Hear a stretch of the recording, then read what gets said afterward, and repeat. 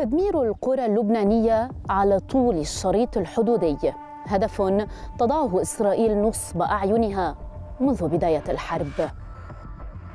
هدف نجحت إسرائيل في تحقيق جزء منه وهو تحويل القرى المتاخمة لحدودها إلى مناطق خالية من المدنيين وغير قابلة للعيش. على عمق ما يزيد على خمسة كيلومترات على طول الحدود أفرغت البلدات الجنوبية من معظم سكانها مما تسبب بنزوح أكثر من مئة ألف لبناني.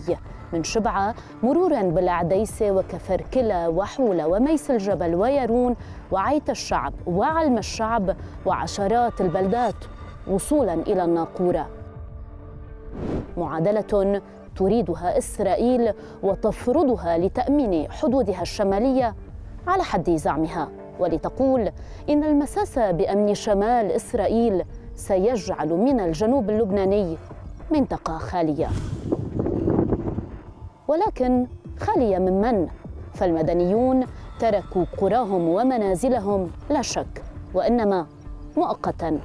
إلا أن السؤال هو عن عناصر حزب الله ومقاتليه وعلى وجه الخصوص فرقة الرضوان فرقة النخبة في الحزب. فهؤلاء لم يتركوا قواعدهم ولا زالوا يعملون من تلك القرى الحدودية. والبرهان على ذلك يختصر بحادثتين. الأولى هي محاولة التسلل الإسرائيلية. إلى داخل الأراضي اللبنانية في منطقة وادي قطمون قبالة ترميش والتي أعلن حزب الله إحباطها سريعا. والثانية هي استهداف حزب الله لثكنة كيلع الإسرائيلية التي تبعد عن الحدود الجنوبية للبنان ما يزيد عن 12 كيلومترا. مما يعني أن إطلاق صواريخ حزب الله يتم من القرى المتاخمة.